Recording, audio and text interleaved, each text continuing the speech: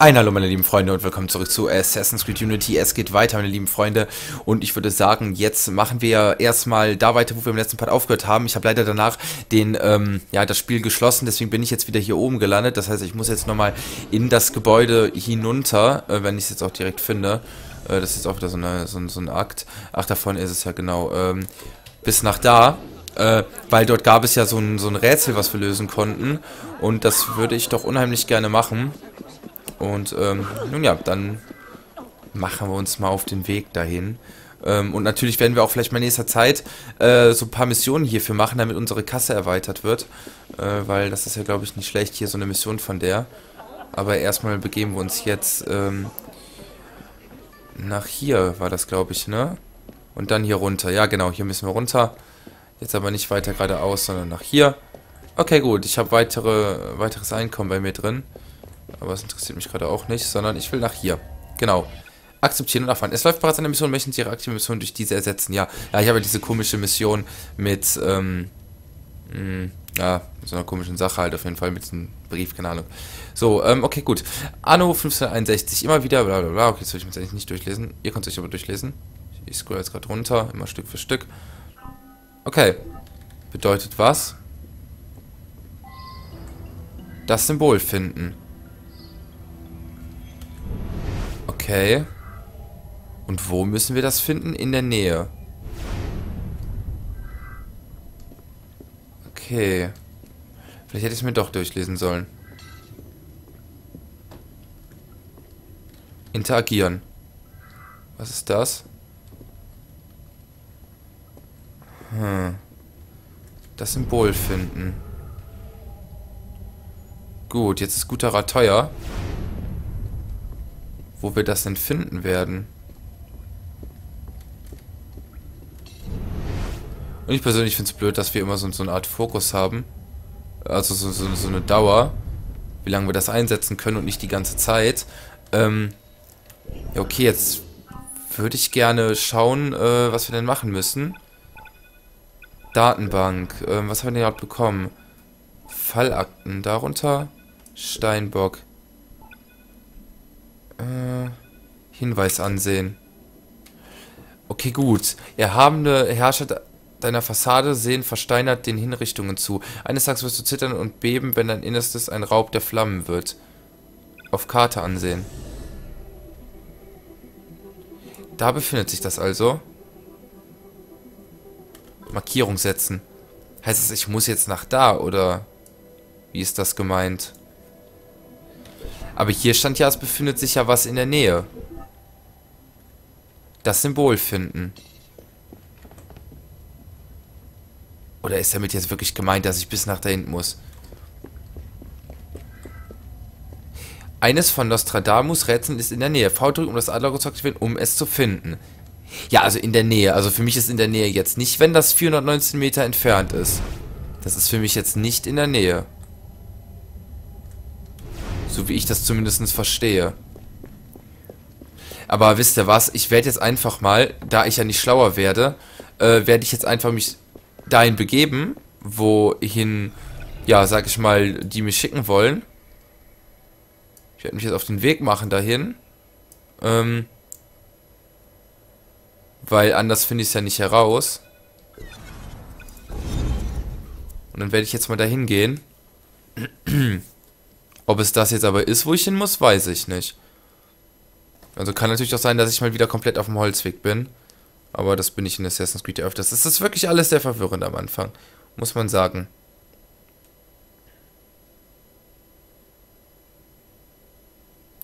Das gebe ich zu. Okay, alles klar. Wo sind wir gelandet? Hier. Ähm, jetzt gucke ich nochmal kurz auf die Karte. Okay, die Markierung steht noch. Ähm, da kommen wir runter, genau.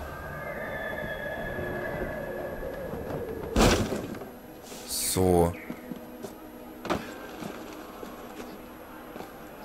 Gut, das findet da unten statt. Keine Ahnung. Und will ich da jetzt hoch? Ja, ich gehe über die, ähm, über die Dächer.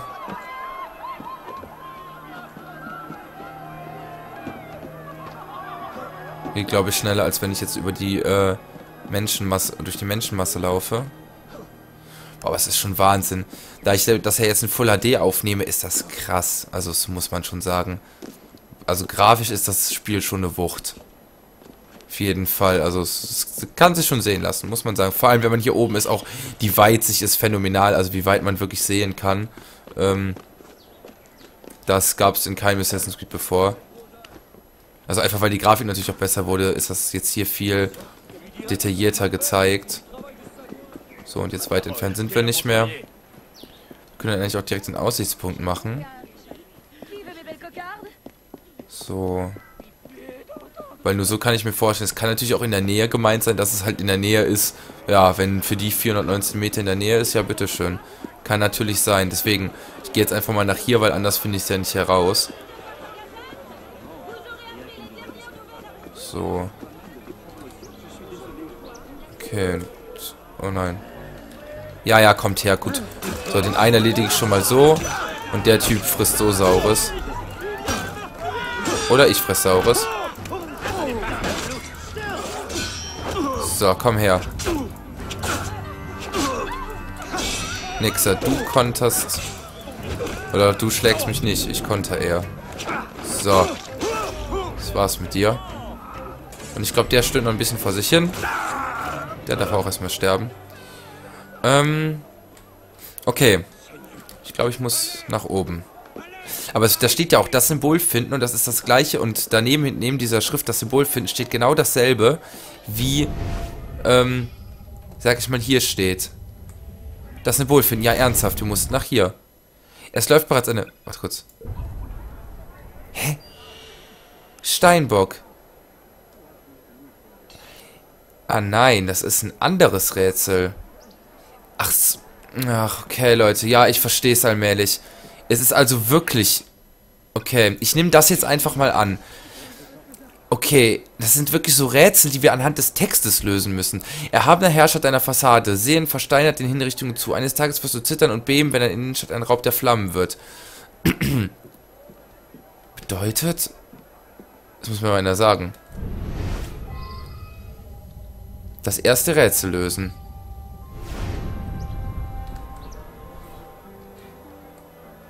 Na gut. Wie soll ich das herausfinden? Das ist wirklich schwer. Nee, Leute, ich würde sagen, damit beschäftige ich mich nochmal, äh, also nicht offscreen, aber da werde ich ähm, offscreen mal kurz nachforschen, wie, was diese Rätsel auf sich haben, also wo sich das immer befindet, weil ich möchte jetzt eigentlich diesen Part nicht damit verschwenden, das herauszufinden, weil äh, das sind so Dinge, da schaue ich dann mal kurz nach, äh, ne, worum es da geht, also was damit gemeint ist und das ist einfacher, als wenn ich jetzt, sag ich mal, 20 Minuten in dem Part äh, damit verbringe, das zu suchen, ich finde es nicht und dann cutte ich erst und suche danach, also da machen wir jetzt lieber was anderes und ähm, dann kann ich später immer noch mal, äh, dann kann, können wir das im nächsten Part mal machen, dann kann ich euch aufklären darüber. So. So, super. Haben wir die Typen doch erledigt. Würde ich sagen, gehen wir jetzt doch mal zum Aussichtspunkt da hinten. So, da ist wieder so eine Truhe, die können wir eh nicht öffnen. Aber eine gute Sache hat die Sache ja. Eine gute Sache hat die Sache ja, genau. Super. Nein, eine gute ähm, Sache hat das ja, dass ähm, wir jetzt hier einen Aussichtspunkt haben.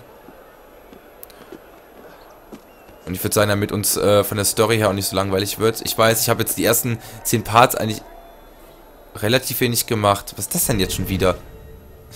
Zweites Rätsel. Was? Asaira, Saira wird es erschaffen, eine grausige Wendung des Schicksals, sodass sie kein Licht mehr verbreiten, sondern viele die Hälse brechen. Was? Also, wie habe ich das jetzt durch Zufall hier nur gefunden? Geplant war das jetzt sicherlich nicht. Hm. Nun gut. Gehe ich mal hier hoch. Also da ganz durchblicken tue ich noch nicht. Datenbank öffnen. Ja gut, erstes Rätsel. Ja, es sind irgendwie diese... Keine Ahnung, ich, ich, ich schaue offscreen nach. Gehe ich mal kurz ins Internet. Und schaue mal kurz nach, worum es da geht. Dann bin ich danach schlauer. Und ihr könnt mir ja auch mein erstes Feedback geben wie euch das gefällt, wie ich das so momentan mache, so von, äh, ja, sag ich mal, den Missionen wird euch langweilig, findet ihr es blöd, was ich mache, dass ich manchmal ein bisschen unkoordiniert bin oder so, oder ist das für euch in Ordnung? Ähm, es ist halt einfach, es passiert so viel drumherum in Assassin's Creed und Unity ist halt wirklich eine große Neuerung, muss man sagen. So viel Neues, was es gibt, was es vorher nicht gab und äh, ja, das ist halt schon anders, ne? Muss man schon sagen. Ähm, so. So, da ist den Zivilisten beschützen. Natürlich beschütze ich dich. So. Sie haben 10 von 10 Massenereignissen beendet. Ben sieht ganz das, um eine Belohnung zu erhalten. Super. Freue ich mich doch wieder. Einen maßgeschneiderten Lauerumhang. Uh, hört sich ja schön an. Okay, gut, dann schauen wir mal auf die Karte. Ähm, ich würde sagen, wir machen jetzt einfach mal eine Assassinen-Mission. Markierung entfernen, Markierung setzen. Macht er denn eine Markierung oder nicht? Hm. Komisch. Ähm, würde sagen, aber hier hinten war irgendwo die Assassinen-Mission. Ja, genau, da vorne war sie, ja. Gehen wir mal dahin. Okay, alles klar. Hallöchen. Akzeptieren und nachverfolgen. Ich nahm ihm diesen Anhänger vom Hals. Bitte, Sir. Könnt ihr mich beschützen, während ich ihn zu unserem Haus zurückbringe? Ja, das kann ich machen. Dann beweg dich mal.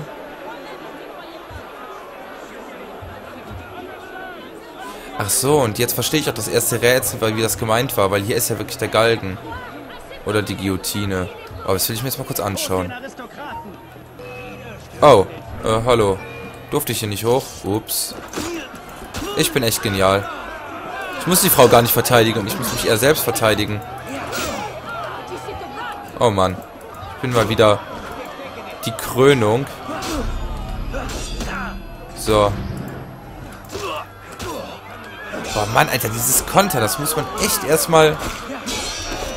Da muss man wirklich so rechtzeitig sein. Ja, und dann wird auf einen geschossen. Ist auch nochmal so unfair. So, und ich bin nämlich jetzt auch weg. Ja gut, zum Glück habe ich einen Heiltrank gehabt. So. So, wie die Frau versucht zu kämpfen. Ist, also nicht, dass die Frau nicht kämpfen kann, das will ich jetzt damit gar nicht sagen, aber ich finde es halt einfach witzig. Wie sie da auf einmal mit dem Schwert steht. Das ist schon ziemlich witzig. So.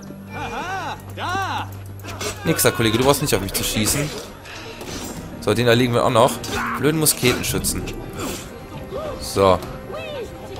Ho, und wie die fast tot ist, sehe ich gerade. Alter! Darf es weitergehen?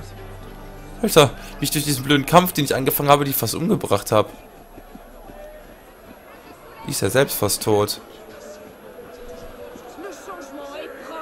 Duchesse de Fremier heißt die.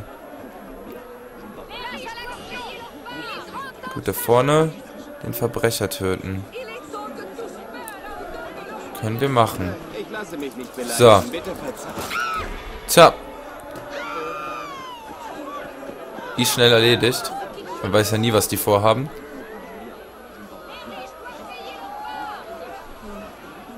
Verbündete werden angegriffen? Nee, eigentlich ja nicht.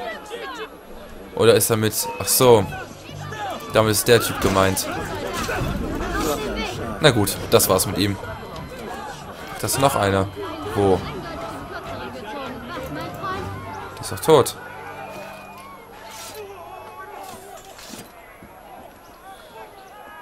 Aber schick, du hast irgendwie so einen ziemlichen schwarzen Lochrock.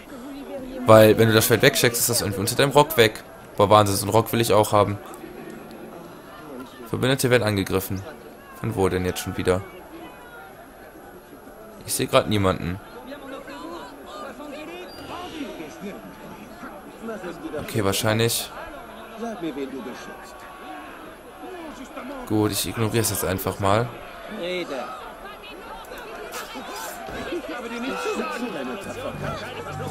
Gut, kommt mal her. Wow, Alter. Oh nein, ich muss schnell zu der Frau gehen. Du lässt die Frau in Ruhe. Habe ich die jetzt gerade umgebracht? Ich bin so ein Genie. Ich bin so ein Genie, Leute. Was kriege ich in diesem Part eigentlich hin? Also, aber in Assassin's Creed habe ich schon immer so Parts gehabt, wo ich einfach nichts auf die Kette bekommen habe. Also, dafür kennt man mich wirklich. Unfähigkeit in Person. Also, das ist Wahnsinn. Gut, Leute, bevor dieser Part völlig ein Desaster wird, würde ich sagen, äh, ich gehe jetzt mal kurz zu meinem, Assass äh, zu meinem Assassinen-Hauptquartier und mache die nächste Hauptmission. Äh, ich gucke gerade mal, wie lange nehme ich jetzt auf? Ja, 15 Minuten müsste das jetzt sein. Gut, da machen wir jetzt noch irgendwas und dann ist dieser Part nicht ganz verkorkst geworden. Also, Gott, Gott, Gott, Gott, Gott, Gott, Gott, Gott, Gott. Nee, das ist, äh, ja, hm, schön. Hm, weil sonst habe ich gar nichts geschafft in diesem Part. So, alles klar, gehen wir jetzt erstmal hier rein.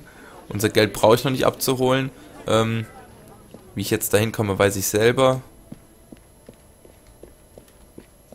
Wir können einmal hier durchgehen. Und dann sind wir auch schon da. So, jetzt schreibe ich mal ganz kurz was, während das lädt. Okay, gut. Ähm, alles klar. So, äh, damit sind wir hier und jetzt gehen wir mal dahin. Wir können ja Bericht erstatten, dass sie wer tot ist. Haben wir ja eh noch gar nicht gemacht. Seit zwei Parts oder so. Wir sind einfach super inkompetent. Alles klar. Gut, erstatten wir dem Rat mal Bericht.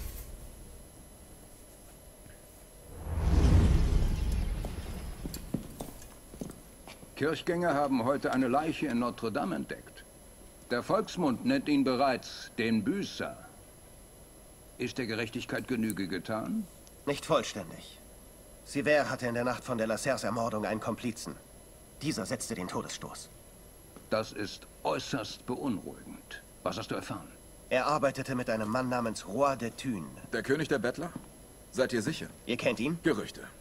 Die Bettler zahlen ihm Tribut. Der Mann selbst ist ein Geist. Wir setzten drei Assassinen auf ihn an. Zwei fanden keine Spur.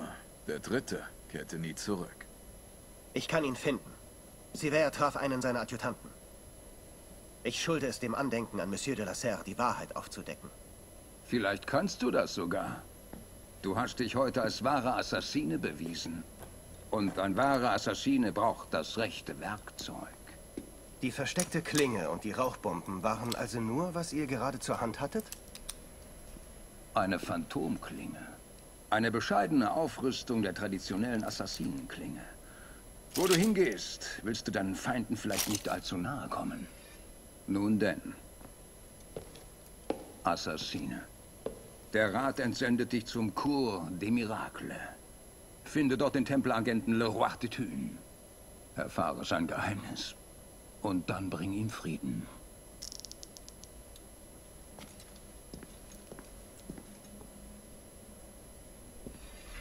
Alles klar, damit haben wir jetzt also sozusagen ähm, eine Phantomklinge bekommen. Cool. Drücken Sie eins, um die Phantomklinge auszuwählen. Haben Sie dies ausgedrückt, drücken Sie für einen Reflexschuss, halten Sie direkt gedrückt, um zu zielen und drücken Sie links, um zu schießen. Wer Gegner von Berserkerfallen getroffen, greifen Ihre Verbündeten an. Okay, gut. Ja, das kennen wir ja mit Berserkerfallen.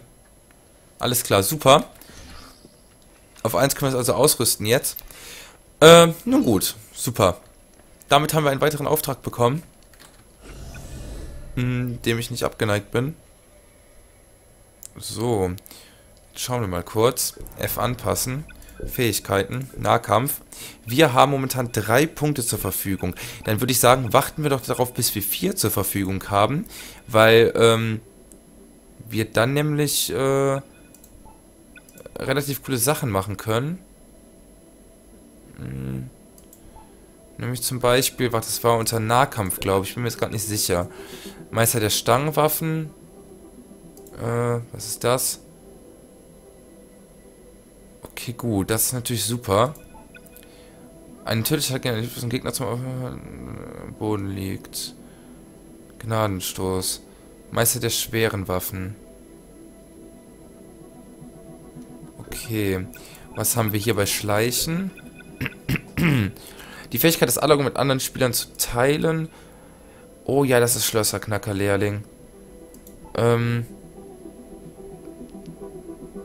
Da überlege ich jetzt auch gerade, das können wir auch da mal machen, sobald wir die Punkte haben. Ähm, dafür müssen wir erstmal, was ist das hier noch?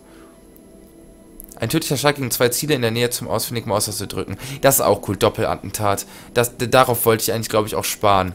Dass wir darauf warten. Oder Gesundheit, was können wir hier machen? Das Gesundheit 2 Herz schalten wir eh erst bald erst frei. Ausrüstung, Waffen, Ausstattung. Ähm, Kopf, können wir mal schauen. Das war ja alles mal so teuer, glaube ich. Ähm, das ist schon in unserem Besitz, ne? Okay. Das wird die normale Kutte. Das war ein bisschen... Ne, okay, das ist genauso wie die. Die bringt uns jetzt nicht viel. Die würde uns was bringen. Die bringt uns im Schleichen mehr. Die Gesundheit. Aber hier haben wir was bekommen. Maßgeschneiderter Lauerumhang. Wow. Okay. Das bringt uns ja einen ordentlichen Batzen in Gesundheit und Schleichen. Auf jeden Fall ausrüsten. Würde ich mal sagen. Ähm. Okay, verbessert würde das sozusagen alles nochmal ein bisschen erhöhen. Ähm. Brust, was haben wir denn da so Schickes? Okay. Ähm. Schauen wir mal schleichen. Das bringt uns viel auf Gesundheit. Sieht doch gar nicht schlecht aus. Aber können wir uns nicht leisten. Oder? Doch, könnten wir uns leisten. Oder? Doch, könnten wir uns leisten. Ich finde, das sieht persönlich nicht schlecht aus. Das wiederum können wir uns nicht leisten. Das schon. Das sieht nicht schlecht aus. Maßgeschneiderter mittelalterlicher Mantel. Ein maßgeschneiderter Mantel, der aus dem Herrenhaus einer wohnenden Familie geborgen wurde. Ist nicht schlecht. Brust. Warte, was hatten wir jetzt nochmal am Kopf für eine Sache? Maßgeschneiderter Lauerumhang. Ich wette, da gibt es dann auch bei der Brust was zu. Ähm. Ja, das ist der nee, lungerer Mantel. Hundertprozentig, da gibt es dann auch wieder was. Gibt da bestimmt immer so einen ganzen, äh, äh, so eine ganze, ähm, ja, wie soll ich das jetzt nennen? Eine ganze, äh, ah, ein ganzes Set an Klamotten, ihr wisst, was ich meine. Aber ich glaube, fürs Erste wäre das echt nicht schlecht. Weil das geht nochmal wirklich auf Gesundheit. Ähm, und das können wir gut gebrauchen, weil wir sind halt schon anfällig für Sachen. So, wo war das nochmal hier? Nahkampfpanzerung auf 9%, Fernkampf auf 8%, Gesundheit auf 7%. Ja doch, das erhöht, das kaufen wir uns mal. Das ist schon gut, wenn wir das haben. So, jetzt schauen wir mal Farben, was es da so gibt. Okay, das sind also so Art Voraussetzungen, die man erfüllen muss. Manche Farben sind ja echt scheußlich. Wo gibt es denn dieses coole Schwarz einfach nur? Das ist ja kein Schwarz, das ist ja eher... Wo ist denn das, da, da was schwarz? Das ist ja eher schwarz-grün. Also das verstehe ich da nicht ganz. Ähm, das sieht nicht schlecht aus. Irgendwo muss es doch was Schöneres geben als sowas. So, gefallen will mir das noch nicht alles. Hm. Das hätten wir noch. Ich finde, das sieht gar nicht so schlecht aus. Ich werde... Das wählen wir jetzt mal ausrüsten. Jetzt sehen wir wenigstens mal ein wenig anders aus, wenn wir es mal schauen. Doch, das sieht gar nicht so schlecht aus. So. Jetzt haben wir wenigstens ein anderes Oberteil, eine andere Kopfsache. Und ja, kann ich erstmal mit leben, würde ich sagen. Was ist hier? Ah, okay, das ist nur die Rangliste, die man ja hat. Ähm, ja, gut. Dann würde ich sagen, das war's mit diesem Assassin's Creed Part. Im nächsten werde ich dann produktiver sein. Ich werde mich mal ein bisschen damit befassen, was es auf sich hat mit diesen Rätseln. Und dann sehen wir uns im nächsten Part von Assassin's Creed Unity wieder. Bis dahin, vergesst nicht, eine positive Bewertung zu hinterlassen. Und dann sehen wir uns im nächsten Part wieder. Ciao, Leute.